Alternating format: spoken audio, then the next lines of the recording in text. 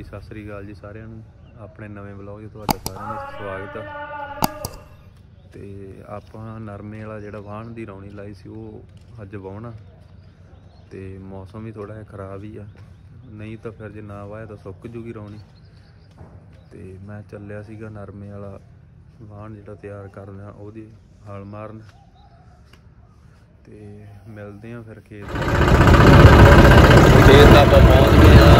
ਹਵਾ ਵੀ ਬਹੁਤ ਚੱਲ ਰਹੀ ਆ ਤੇ ਮੌਸਮ ਖਰਾਬ ਹੀ ਆ ਵੈਸੇ। ਮੀਂਹ ਵਾਲਾ ਮੌਸਮ ਆ। ਤੇ ਰੌਣੀ ਤਾਂ ਫਿਰ ਵਾਹੁਣੀ ਪੈਣੀ ਆਪਾਂ ਨੂੰ। ਜਿਹੜੀ ਪਹਿਲਾਂ ਲਾਈ ਸੀਗੀ, ਆਹ ਤਾਂ ਗਿੱਲੀ ਆ ਹਜੇ। ਉਹ ਜਿਹੜੀ ਅੱਗੇ ਲੱਗੀ ਹੋਈ ਆ, ਉਹ ਵਿੱਚ ਚਿੱਟੀ ਨੂੰ ਰਹੀ ਆ। ਉਹ ਸੁੱਕ ਸੁੱਕ ਜੂਗੀ ਜੇ ਆਪਾਂ ਨਾ ਲਾਈ ਤਾਂ। ਤੇ ਬਾਕੀ ਦੇਖੋ ਇਹ ਤਾਂ ਪਾ ਹੀ ਦਿੰਦਾ ਤਕਰੀਬਨ ਇਹ ਜਦੋਂ ਨਰਮਾ ਵਿੱਚ ਕੇ ਤੇ ਦਾਲ ਦੀ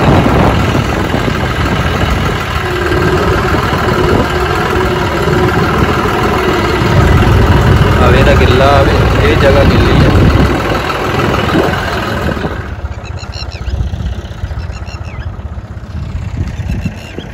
ਆਪਾਂ ਕਰਨ ਲੱਗੇ ਸ਼ੁਰੂ ਤੇ ਫਿਰ ਨਰਮਾ ਬੀਜਾਂਗੇ।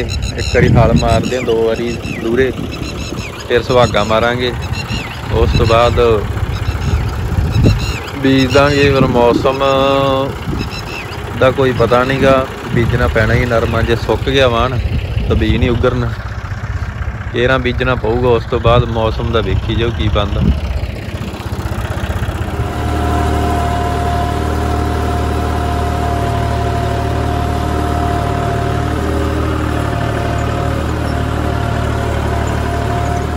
ਵਾਣ ਦਾ ਆਪਾਂ ਵਾਹ ਲਿਆ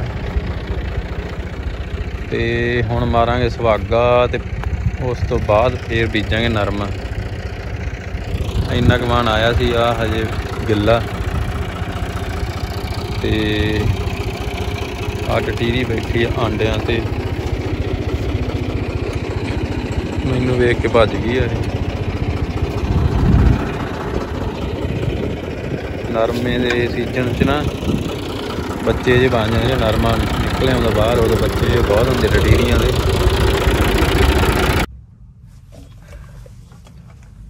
ਇੱਕ ਨਾ ਕਰੋਨਾ ਬਹੁਤ ਜ਼ਿਆਦਾ ਵੱਧ ਰਿਹਾ। ਤੇ ਮੈਨੂੰ ਲੱਗਦਾ ਵੀ ਤੀਜੀ ਸਟੇਜ ਚੱਲ ਹੀ ਪਈ ਹੈ ਤਕਰੀਬਨ, ਜਿਹਦੇ ਵਿੱਚ ਤੁਸੀਂ ਦੇਖੋਗੇ ਵੀ ਪਹਿਲਾਂ ਤਾਂ ਬਜ਼ੁਰਗਾਂ ਦਾ ਸੀਗਾ, ਫਿਰ ਨੌਜਵਾਨ ਵੀ ਆ ਗਏ ਚਪੇਟ 'ਚ। ਹੁਣ ਬੱਚੇ ਵੀ ਆਉਣਗੇ ਤੀਜੀ ਸਟੇਜ ਦੇ ਵਿੱਚ। ਕਿਉਂਕਿ ਪ- ਬੱਚੇ ਪਹਿਲਾਂ ਤਾਂ ਆਪਾਂ ਦੇਖਦੇ ਆਂ ਵੀ ਛੋਟੇ ਬੱਚੇ ਘਰੋਂ ਬਾਹਰ ਨਹੀਂ ਜਾਂਦੇ, ਪਰ ਹੁਣ ਦੋਵੇਂ ਹੋ ਗਏ ਬਜ਼ੁਰਗ ਵੀ ਤੇ ਨੌਜਵਾਨ ਵੀ, ਇਹਦੀ ਚਪੇਟ 'ਚ ਆ ਗਏ ਆ। ਕਰੋਨਾ ਦੀ ਚ ਤੇ ਬੱਚੇ ਵੀ ਹੁਣ ਆ ਸਕਦੇ ਆ। ਪਰਹੇਜ਼ ਰੱਖੋ ਤੁਸੀਂ ਵੱਧ ਤੋਂ ਵੱਧ ਤੇ ਉਹੋ ਜਿਹੀਆਂ ਚੀਜ਼ਾਂ ਖਾਓ ਖੱਟੀਆਂ, ਵੀ ਜਿਹੜੀ ਇਮਿਊਨਿਟੀ ਆਪਣੀ ਜਿਹੜੀ ਆ ਮਜ਼ਬੂਤ ਹੁੰਦੀ ਜਿੰਨਾਂ ਚੀਜ਼ਾਂ ਨਾਲ। ਜਿਵੇਂ ਵਿਟਾਮਿਨ ਸੀ ਹੋ ਗਿਆ ਇੱਕ, ਉਹ ਵੀ ਬਹੁਤ ਵਧੀਆ ਵੇ। ਮੈਂ ਵਿਟਾਮਿਨ ਸੀ ਦਾ ਲੈ ਕੇ ਆਇਆ ਗੋਲੀਆਂ ਚੂਸਣ ਵਾਲੀਆਂ ਗੋਲੀਆਂ ਆ ਇਹ। ਇਹ ਤੁਸੀਂ ਵੱਧ ਤੋਂ ਵੱਧ ਖਾਓ, ਵਿਟਾਮਿਨ ਸੀ ਵਾਲੇ ਬਾਕੀ ਪਰਹੇਜ਼ ਵੀ ਰੱਖੋ। ਮਾਸਕ ਆਪਾਂ ਪਹਿਲਾਂ ਤਾਂ ਚਲਾਉਣ ਤੋਂ ਡਰਦੇ ਲਾਉਂਦੇ ਸੀਗੇ। ਹੁਣ ਤਾਂ ਕਰੋਨਾ ਚੱਲ ਹੀ ਪਿਆ ਨਾ, ਤੇ ਹੁਣ ਤਾਂ ਮਾਸਕ ਲਾਓ ਜ਼ਰੂਰ। ਸੈਨੀਟਾਈਜ਼ਰ ਰੱਖੋ ਗੱਡੀ 'ਚ, ਆਪਦੀ 'ਚ। ਜੇ ਕੋਈ ਬਾਈਕ ਤੇ ਜਾਂਦਾ ਜਾਣਾ ਉਹ ਆਪਦਾ ਬਾਈਕ 'ਚ ਰੱਖੇ। ਮੈਂ ਫਾਟਕ ਲੱਗਿਆ ਸੀਗਾ ਤੇ ਮੈਂ ਖੜਾ ਸੀ, ਮੈਂ ਕਿਹਾ ਚੱਲ ਵੀਡੀਓ ਬਣਾ ਦਈਏ। ਆ ਦੇਖੋ।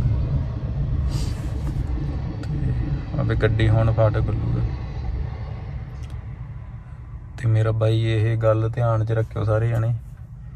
ਮਾੜੀ ਮੋਟੀ ਚੀਜ਼ ਨਹੀਂ ਕਰੋਨਾ ਬਹੁਤ ਡੈਥ ਹੋ ਰਹੀ ਆ ਬਈ ਮੈਂ ਸੁਣਿਆ ਇੱਕ ਸੀਗਾ ਆਪਣੇ ਪਿੰਡ ਚੋਂ ਹੀ। ਉਹਨਾਂ ਦੇ ਜਿਹੜੇ ਗਾਂ ਦੀ ਗਾਂ ਰਿਸ਼ਤੇਦਾਰ ਸੀ, ਉਹਨਾਂ ਦੇ ਕਰੋਨਾ ਹੋ ਗਈ, ਇੱਕ ਜਣੇ ਨੂੰ, ਫਿਰ ਗਾਂ ਦੂਜੇ ਨੂੰ ਵੀ ਹੋ ਗਈ। ਐਂ ਚੱਲ ਰਿਹਾ ਕੰਮ। ਮਸ਼ੀਨ ਪਈ ਸੀ ਇੱਥੇ, ਕਿਉਂਕਿ ਇਹਦੀ ਲੋਡ ਤਾਂ 6 ਮਹੀਨੇ ਬਾਅਦ ਹੀ ਪੈਂਦੀ ਆ ਤੇ ਇੱਥੋਂ ਕੱਢੀ, ਮਸਾਂ ਪਹਿਲਾਂ ਤਾਂ ਹੱਥਾਂ ਨਾਲ ਕੱਢੀ, ਫਿਰ ਟਰੈਕਟਰ ਨਾਲ ਖਿੱਚੀ ਤੇ ਆ ਬੱਜਰੀ ਕੋਲੀ ਆਇਆ, ਫੇਰਿਆ ਸੀਗਾ, ਸੀਮੈਂਟ ਦਾ ਇਹ ਪੱਟਿਆ ਗਿਆ ਕੜੀਸੇ ਤੋਂ ਆ ਇੱਧਰ ਕਣਕ ਵਾਲੀ ਆ। ਤੇ ਹੁਣ ਕੱਢ ਕੁੱਢ ਕੇ ਇਹਦੇ ਇੱਕ ਤਾਂ ਪਾਈਪਾਂ ਲਾਉਣ ਵਾਲੀਆਂ ਸੀਗੀਆਂ, ਰੱਖੀਆਂ ਪੰਜੇ ਸਾਈਡ ਤੇ ਵੀ ਟੁੱਟਣ। ਉਹ ਲਾਈਆਂ ਤੇ ਇਹਨੂੰ ਤੇਲ ਤੂਲ ਦਿੱਤਾ ਸਾਰੀ ਨੂੰ। ਜਾਲੇ ਜੂਲੇ ਲੱਗੇ ਪਏ ਸੀ, ਉਹ ਸਾਫ਼ ਕੀਤੇ ਆ, ਵਿੱਚੋਂ ਸਾਰੇ। ਤੇ ਅੱਜ ਫਿਰ ਆਪਾਂ ਨਰਮਾ ਬੀਜਾਂਗੇ। ਮਸ਼ੀਨ ਟਰੈਕਟਰ ਮਗਰ ਪਾ ਕੇ ਤਿਆਰ ਕਰਤੀ ਆ। ਹੁਣ 4 ਤੱਕ ਦਾ ਟਾਈਮ ਆ, ਮੈਂ ਨਾ ਵੀ ਘੰਟਾ ਕੁ ਹੋਰ ਖੜ ਜੀਗੇ ਸ਼ਾਮ ਜੀ ਨੂੰ ਮੌਸਮ ਠੰਡਾ ਹੋ ਜਾਊਗਾ। ਉਦੋਂ ਫਿਰ ਬੀਜ ਦਾਂਗੇ। ਤਿਆਰ ਬਰ ਤਿਆਰ ਆ, ਕੰਮ ਬਸ।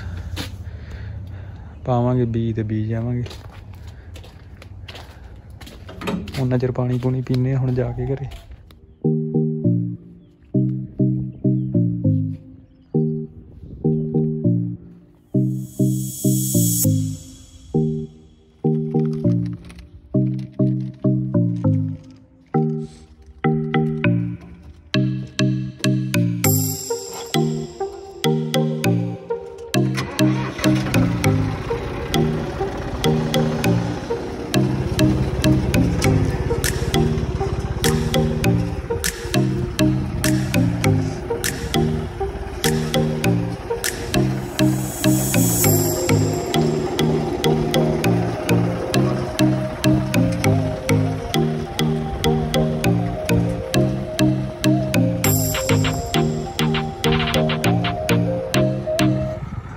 5:30 ਦਾ ਹੋ ਗਿਆ ਤੇ ਪਹਿਲਾਂ ਗਰਮੀ ਸੀਗੀ।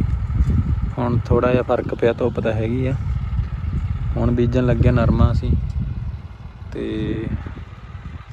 ਚਾਰ ਕ ਗੇੜੇ ਦਿੱਤੇ ਆ। ਅੱਗੇ ਤਾਂ ਪੈਕਟ ਜਿਹੜੇ ਹੁੰਦੇ ਸੀਗੇ ਨਰਮੇ ਦੇ, ਉਹਨਾਂ ਦੇ ਵਿੱਚ ਇੱਕ ਨੌਨ ਬੀਟੀ ਜਿਹੜਾ ਨਰਮਾ ਹੁੰਦਾ ਸੀਗਾ। ਤੇ ਉਹਦਾ ਪੈਕਟ ਹੁੰਦਾ ਸੀ ਛੋਟਾ ਜਿਹਾ, ਐਤਕੀ ਹੈ ਨਹੀਂ ਉਹ ਚੀਜ਼। ਐਤਕੀ ਪੈਕਟ ਆ ਜਿਹੜੇ। ਉਹਨਾਂ ਦੇ ਵਿੱਚ ਬਸ 20 ਆਉਂਦਾ। ਜਿਹੜਾ 20 ਹੈਗਾ, ਇਹ ਹੈਗਾ 475 ਗ੍ਰਾਮ ਇੱਕ ਪੈਕਟ ਦਾ। ਤੇ ਵਾਹਣ ਵਧੀਆ ਬਣਿਆ ਹੋਇਆ ਕੋਈ ਅੜਦਾ ਉੜਦਾ ਹੈ ਨਹੀਂ ਮਸ਼ੀਨ 'ਚ।